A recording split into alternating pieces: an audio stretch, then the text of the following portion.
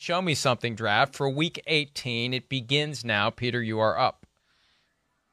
Uh, show me something, Trevor Lawrence. You know, the Jacksonville quarterback has a toe injury. He's not going to be fully healthy. Who knows what modern medical science is going to do to try to help him get through this game.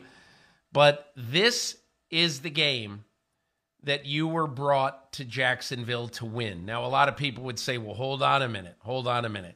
It, it, it, winning a bad division is not the game you were brought to Jacksonville to win. You got to take steps. This is Trevor Lawrence's second year and his first year under his savior coach, Doug Pederson. So take the correct steps. The first step is winning a game to win the division and to say, ding dong, the Titans are dead.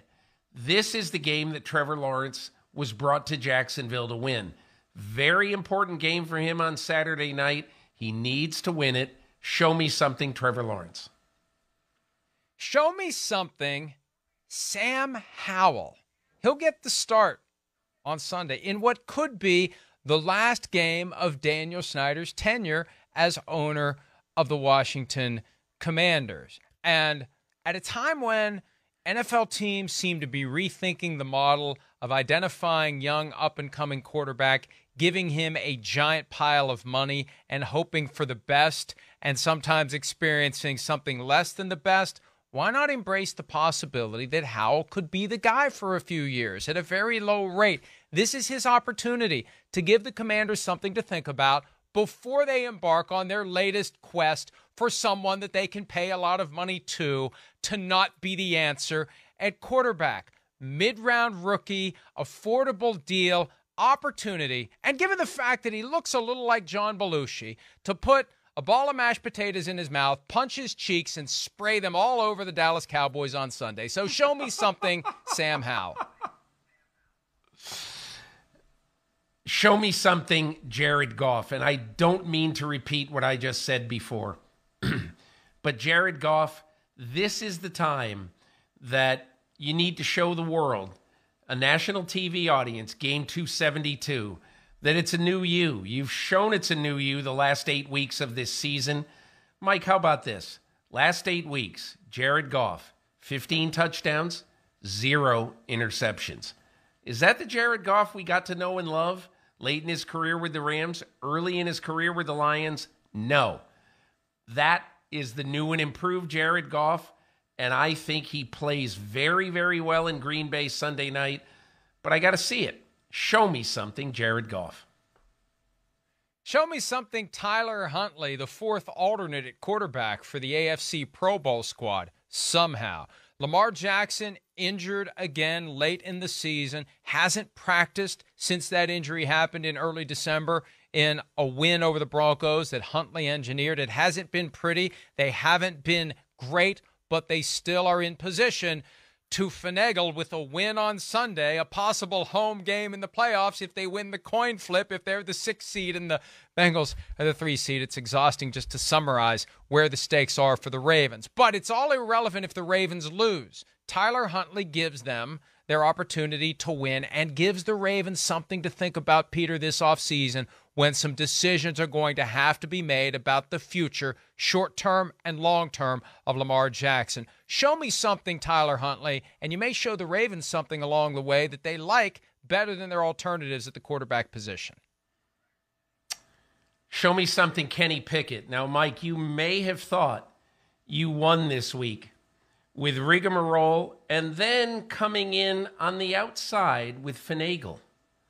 But I am going to sh- I'm going to see your rigmarole and see your finagle, and I'm going to raise you a super incumbent. Okay, super incumbent. Aha. Something that sort of hangs over the festivities. Okay? The super incumbent issue on Sunday is twofold for the Pittsburgh Steelers. And I say, show me something, Kenny Pickett. Okay? And the reason I say show me something, Kenny Pickett, is that hanging over all the festivities are two things. Number one, is Kenny Pickett your guy for the future? You're going to be playing a good pass rush in a pressure game because this pressure game may mean a playoff spot for the Pittsburgh Steelers. But the other thing that is super incumbenting on the festivities Sunday is Mike Tomlin's incredible record. The Pittsburgh Steelers are 8 and 8 right now. They have never had a losing season in the decade and a half that Mike Tomlin has coached this team. So Kenny Pickett, it's on your shoulders on Sunday. Show me something. Play not only for yourself, for your team, but play for your coach, the always winning Mike Tomlin. Show me something, Lovie Smith. Specifically, show me that you know how to embrace the reality that with just one more loss, the Texans will have the first overall pick in the 2023 draft. And we have a precedent here. It was 2014 when Lovie Smith was coaching the Buccaneers, and all the Bucks had to do was lose one more game to secure the rights to Jameis Winston with the first overall pick in the 2015 draft. And the Buccaneers were leading the Saints by double digits at halftime. And what did Lovie Smith do? He removed half of his starters to the amazement of Sean Payton, who was hearing in his headset all of the different numbers that were coming in, like a bingo dealer on meth with all the different 21 in for 23 and 27 in for 24 and this one's in for that one. And the reality is this. The first rule of tank club is don't talk about tank club. But there is real benefit in being the worst team in football. And and the bears are doing their part by starting nathan peterman in their quest to win the first overall pick in the draft so show me Lovie smith that you're capable of settling into that hot bath of stink and being the team that gets the number one overall pick in the draft next year, even if you may not be the coach come next year. Hi, it's Mike Florio. Thanks for watching PFT on YouTube. Hit subscribe for the latest news and analysis from Pro Football Talk.